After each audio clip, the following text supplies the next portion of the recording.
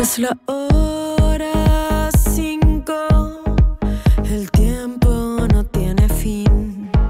Vamos a conocer ahora a Javiera Mena, que es una de nuestras firmes candidatas a representar a España en el Festival de Eurovisión en 2022. Nos va, a- nos va a interpretar su tema Culpa. Ella es icono del electropop, cantante y compositora chilena residente en España, nominada a un Grammy Latino. Tiene seis discos en el mercado y ha colaborado con Julieta Venegas, Miss Cafeína, La Casa Azul o El Guincho, entre otros. Nos atiende desde México, así que darle las gracias. ¿Cómo estás? ¿Cómo se lleva? ¿Cómo estás eh, llevando, digamos, viviendo este camino hacia el Benidorm Fest? Bueno, muy contenta, la verdad. Cuando recibimos la noticia no nos lo esperábamos. Esas son las mejores cosas cuando no las espera y llega algo así como esto, eh, reencontrar este festival también que sé que no- hace mucho no se realizaba. Así que eso, estoy contenta. Felicidad pura surgió al recibir esta noticia. ¿En qué medida es un proyecto ilusionante el hecho de poder eh, subirse a ese escenario y tener la posibilidad de participar y de representar a España en un certamen internacional tan importante? Bueno, hay, varios ingredientes que hacen esta medida. Yo creo que uno de ellos como, como latina, también como chilena, que haya sido contemplada dentro de este grupo. Y, claro, y existe la posibilidad de representar a España también como latinoamericana, es algo muy bonito, me parece muy simbólico. Y también, bueno, toda la, parte estética, visual, que a mí me, siempre me ha apasionado un montón, eh, llevarla a cabo en el Benidorm, que va a estar de lujo, y también la posibilidad de estar en Eurovisión, es algo como súper es motivador y esa motivación se vive como eso, mucho entusiasmo. ¿Eres seguidora del Festival de Eurovisión? Porque hay un concepto que es el, el Eurofan, eh, los que siguen el festival, o directamente si simplemente eres una telespectadora viendo este, este concurso. Con el tiempo lo he ido conociendo en mi, viviendo en España, porque en Latinoamérica nos llega, pero le llega a la gente como más especializada, como los Eurofans, que hay mucho en México, muchísimo ahora en México me he dado cuenta, al decirlo en mis conciertos que estoy nominada, eh, los mexicanos se nota que conocen y que hay Eurofans aquí. Y bueno, y en Chile se conoce un poco menos, pero igual. Pero al, al vivir en Madrid, al vivir en España, eh, sí me, me- me he empapado. Todavía no soy Eurofan, pero yo creo que ya con esto ya soy Eurofan. Vamos, seguro. Como compositora, como artista, como intérprete, como autora, ¿has soñado alguna vez con, con subirte en un escenario tan poderoso como, como el de Eurovisión? Sí, porque tengo algunos amigos que son muy fan y en algún momento lo había pensado, pero no, no sé si era como algo como ahora tan tangible, como que el sueño está ahí.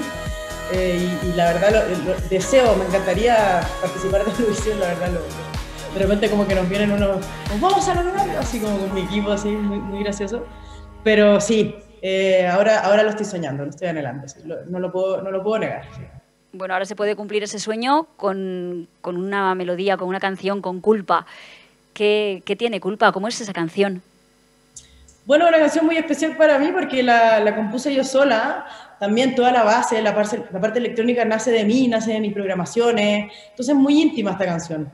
Eh, Yo a veces tengo canciones que son más colaborativas, que trabajo más con otros compositores o, metiéndose más desde el comienzo. Y esta canción es muy íntima, es, mi canción. Entonces en, en ese sentido es muy bonito. Y eso, y habla de, una purgación sobre la culpa que lo sentimos tanto en Latinoamérica. Creo que en España quizás se han liberado un poco antes que en Latinoamérica, yo lo siento así. Eh, son un poco más hedonistas eh, y, y disfrutan más sin culpa. Entonces, nada, yo quise hablar del sentimiento de culpa desde un lado pop también, desde un lado sencillo, que pueda llegar a toda la gente y con un lenguaje también como mm, sencillo, esa, esa es la palabra. Y bueno, y, y la canción es súper electrónica, es súper bailable también. ¿Por qué crees que una composición como esta tiene que, que representar a España? ¿Cómo cautivaría esa canción a, a la audiencia? Yo creo que representa a España totalmente por la historia de España también, por, por todo el, el- el, eh, lo, que, lo que se ha vivido y lo que se nos ha traspasado a Latinoamérica también, que tiene mucho que ver con, con, el, con por mi culpa, por mi culpa, por mi gran culpa. Entonces, creo que por ahí puede venir como una representación total a España y a Latinoamérica también. Y puede ser muy bonito también porque la canción habla de eso, de liberarse de la culpa. Hay una parte muy importante en Eurovisión que no sé si la conoces, que son las, las puestas en escena, ¿no? Eso que envuelve la canción. ¿Tú cómo te estás preparando para ese momento? ¿Estás pensando en, en una performance concreta o qué, qué qué se te pasa por, por la cabeza? Bueno, obviamente pienso Shop Boys, que es de mi banda favorita. Pienso también en algo como conectado con la energía como de, del, de- del fuego, del fuego. Eso, ahora vamos a tener una conversación con el equipo de Benidorm que es espectacular y queremos debatirlo, pero yo creo que tiene que ver mucho con el fuego esta canción, con, con unos, me imagino rojos, incluso algunos cuernos por ahí, no sé, como que se me. Y eso, quiero que haya danzas, sintetizadores, eh, esas cosas, eh, y también rayos, rayos que exploten, así como... Pero también mantener siempre una cosa como dentro de lo espectacular, quiero que haya como cierta intimidad. Tú sabes que los sueños se pueden hacer realidad. Y cuando un sueño se hace realidad hay que celebrar. ¿Cómo celebrarías, por ejemplo, el, ganar en el Benidorm Fest? ¿Y cómo celebrarías si de repente escuchas eh, España ha ganado el Festival de Eurovisión y tienes que recoger el micrófono de cristal? ¿Cómo harías esas celebraciones? Uf, bueno, me iría de vacaciones, de todas maneras, pero parece que no se puede porque hace mucho que no voy de vacaciones, entonces celebraría aunque sea tres días y obviamente con un buen vino español, porque voy a representar a España, eh, no sé, con un Rioja así, o con un, verdejo, no sé, como algo sencillo, igual. Yo soy de celebraciones como cosas como muy ricas y sencillitas, así, eso me gusta mucho. Los vinos chilenos también son buenos. O un chileno y un español, puede ser, sí. 50-50.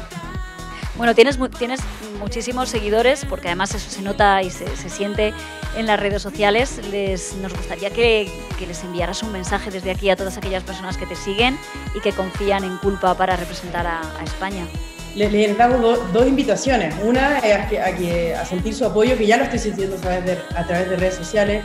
Todos los Eurofans, me estoy conectando, estoy leyendo sus comentarios son los más lindos, es gente melómana como yo, entonces me siento como muy conectada porque yo también soy melómana, soy una nerd de buscar mucha música, entonces siento que tenemos muchas cosas en común con los Eurofans. Así que eso, le invito a, que nos entreguen su energía y que nos apoyen y, también a que se, se, purguen, se liberen de la culpa, que es algo que lo, a lo que invita mi canción también. Yo creo que ambas cosas se pueden combinar a. Bueno, Javiera, pues eso, no sé si sabes que nosotros tenemos ya un lema que es el festival que quieres, ¿no? Que lo decimos muchas veces. Voy a pedirte que lo digas. ¿Dónde vamos a ver todo esto? ¿En el Benidorm Fest? ¿Dónde? ¿En? En el festival que quieres. Eso es, bravo.